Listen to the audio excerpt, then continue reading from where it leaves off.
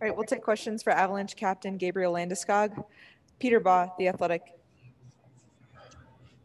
Hey, Gabe. Um, I, I kind of wanted to ask about how you thought Vegas responded in the in the third with their physicality, particularly the the Reaves play on Graves and the Pacioretty play on Girard. I don't know if you can call that physicality. To be honest with you, Reaves is he's on a mission to hurt somebody there in the third, and that's what he goes out and does. And um, I'm sure the league will take a look at it. His intent to injure, and I'm sure they'll look at it. Um, you know, I think uh, overall we played a good game. I thought we, we really set the tone strong in the first and followed it up with a good second. So, yeah. Ryan O'Halloran, Denver Post. Hey, Gabe, on, on the goal you scored, the first one from Makar, how impressed are you that Cale can find you all the way across the ice? Yeah, I'm not. I'm not surprised. I mean, I was just just try to time it, and I, you know, with his vision and his skill, I knew he kind of saw me. Uh, he made a great play. I didn't have to do much but put it in. So great play by Cale. Sheriff Dean, Mile High Sports. Gabe, going into the second game on Wednesday, do you guys think you set the right message, uh, not only by scoring seven goals, but by not responding to you know the, the things that were going on in the third period there at the end? Yeah, I mean, listen, we're going to play our game, no matter what the score is, and and uh, you know, I'm sure for them they they weren't happy with the way the game was going, and and uh, I'm sure they were trying to send a message for game two, or I don't know. Uh, but overall, I think we played a good game. It's game one. Um, you know, it doesn't mean anything going into game two. We just got to follow it up and, and do the same thing again. Mike Chambers, Denver Post. Gabe, the top line obviously was uh, on fire there with uh, five goals, and Cale Makar had four points. Uh, if you could just talk about the uh, top power play guys, and then also as a follow up, if you could just comment on Nate's, Nate's ridiculous uh, second goal there, please. Yeah, I mean, to answer the first part of the question, I thought Cale pretty great, played a great game. Uh, you know, he was dangerous every time he was out there, and and I think overall our D corps did a great job of breaking the puck out, uh, jumping up in the rush, and creating four and threes and things like that. Um, and you know, it's it's our job to lead the team offensively, and that's what we try to do on a nightly basis.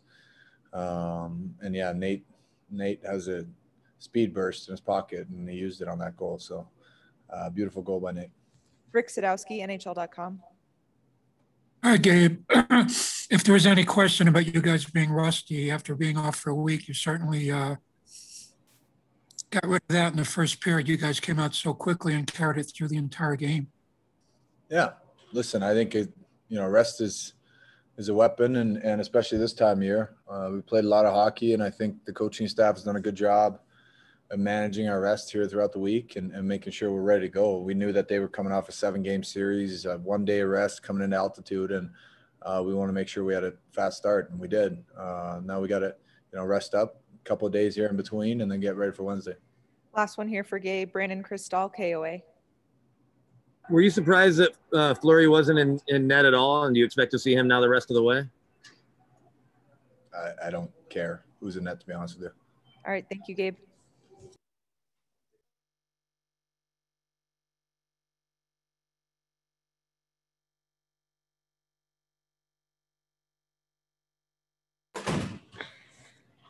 right, we'll take questions for Avalanche defenseman Cale Makar. Ryan Boulding, Mile High Sports. Hey, Cale, I was just wondering if you guys anticipated some of that physical aspect of the game from Vegas, and, and if you, you know, talk about as the lead goes up, how the extracurricular stuff's going to go on.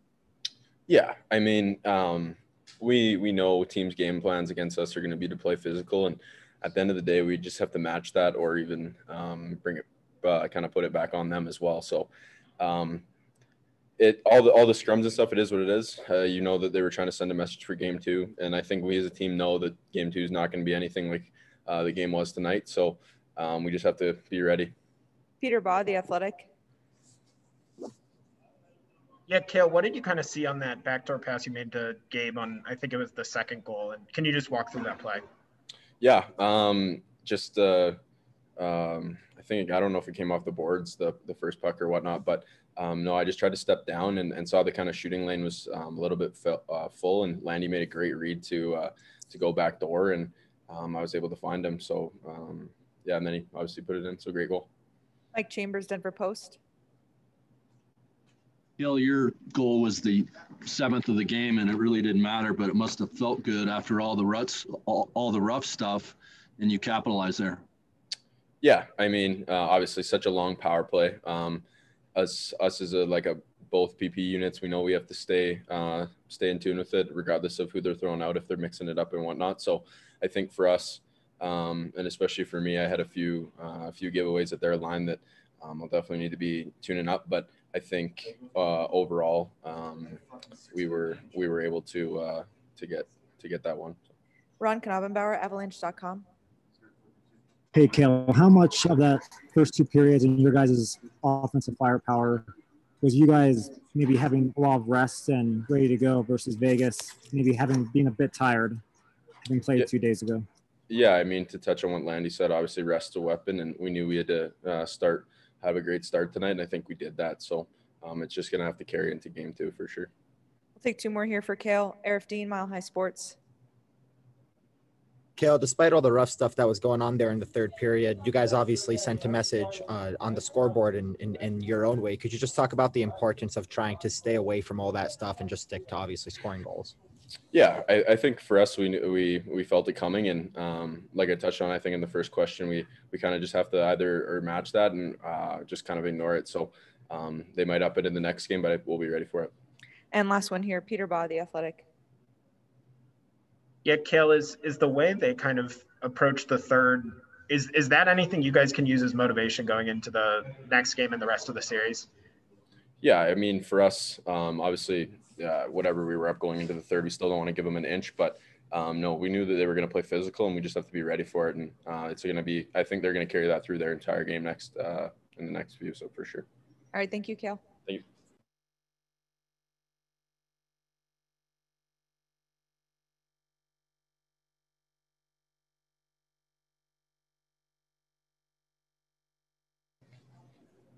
We'll take questions for Avalanche forward Nathan MacKinnon. Mike Chambers, Denver Post. Nate, just overall thoughts about the offensive explosion after the week long break. Um, yeah, I don't know. I think everyone took it serious. The break, um, you know, it wasn't a vacation. Everyone was uh, ready to go, and you know, we had a great start. Peter Baugh, The Athletic.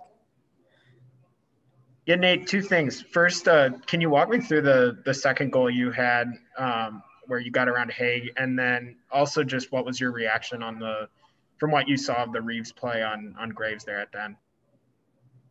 Um, yeah, I, I just had a. I noticed that he had a, a loose gap, and I gathered some speed below the puck and managed to get around. Um, you know, uh, it was a great play by Donnie to, to kick it out, and you know, I, I uh, had the D in a tough spot and just kind of found the back of the net. And um, with Reaves, uh, I didn't really see it. All right, thank you, Nate.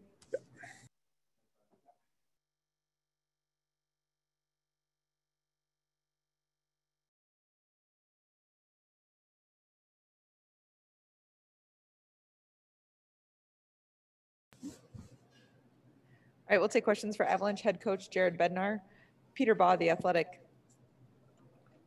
Hey, Jared. I wanted to ask, what was um, I guess just your general reaction to the way Vegas approached the third period and the way they chose to go about playing? Um, not unexpected for me. You know, it's a playoff series, seven games. Um, the game's out of reach, and they were going to come and play physical and try to finish all their checks. And and um, so I think it's to be expected. I think our guys knew that coming into it. I didn't have a problem with with the way they played. Um, when it comes to that, I guess the only play that that I really didn't like that was out of the sort of out of the context of the game was uh, the Reaves play on uh, Graves when he's down. But, besides that, I think there was some big hits thrown, clean hits. Some of them were, you know, a little high and a little late. I think. Besides that, you know, I didn't I didn't see anything that was too crazy for playoff time, except I didn't like that play with Reaves at the end. Sheriff Dean, Mile High Sports. Jared, I have a couple for you. On the Reaves play, do you uh, is that something that you suspect we'll see uh, supplemental discipline from uh, supplementary discipline from the NHL? And number two, that four minute double minor that was rescinded. Could you just kind of give me your thoughts on that play and what happened there? Yeah, so well, he got Reaves got a match penalty, so I'm assuming that they're going to look at that. Um, the double minor, they thought it was a stick that caught Girard. Um, and he was you know bleeding. So they right away mark it as four. It's something that they can review.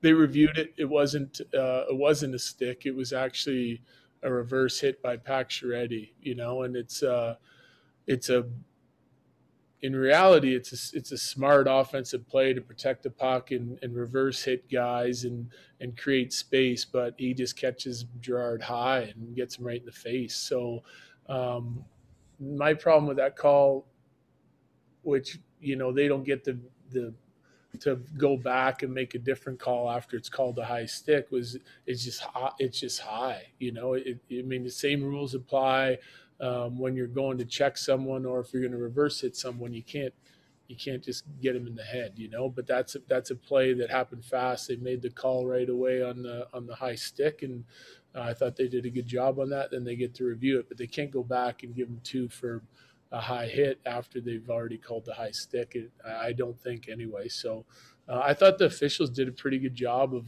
of, of making the calls. There was a hit we, when we second period Carrier catches a guy in the corner and and um, they make the call and caught it and tried to keep the game in order. And I think the, the third just gets away because of the score.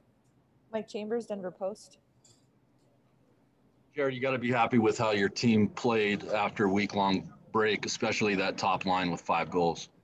Yeah, I, I love the way our team played tonight. Right away, out of the gate, skating, relentless puck pressure, um, great commitment to our checking game, capitalizing on our chances. I, I thought you, you know the top line set the tone again, but our whole team was was involved and and and playing well and, and skating well and you know our, our our talk before the game was we don't want to come out and wade into this thing. I thought you know learning from the past we discussed the San Jose series from a couple years ago. We discussed the Dallas series and and and making sure that we were you know using our legs to make a difference tonight.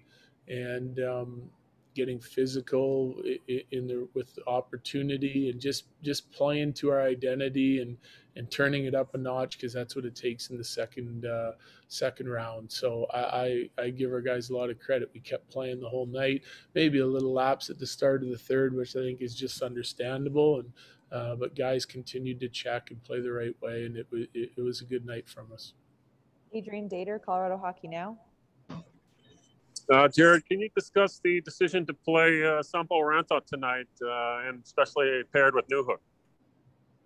Yeah, well, I mean, we've discussed Newhook in length already, and Sampo is a little bit of the same. I think um, great college career, goes to the American League, chips in immediately, makes an impact, scores a bunch of goals, has a physicality to his game, um, can skate you know, Joe and Chris liked what they see there, talked to Crow, liked what he saw, and then he comes up and, and, gets in our practice. And he's a he's a young guy, but he's got he's big, he's strong, he's fast. He I met with him on our systems. He seemed to understand them. Um, I, I, thought I thought he was fantastic. You know what? He had a blunder on uh, the the their goal. Um, him and uh, Berkey both kind of got a little bit lost up there in, in D zone coverage, and they, they found the back door. Uh, could have been quicker to recognize that. A little bit of communication would have helped. Besides that, I thought he was on pucks in the offensive zone. He was physical. He skated well. He tracked well, responsible, didn't have any turnovers. I thought it was a real good night from him. Um, when you take in that that's his first NHL game and it's against a real good team in Vegas and, and in the second round of the playoffs. So the moment wasn't too big for him.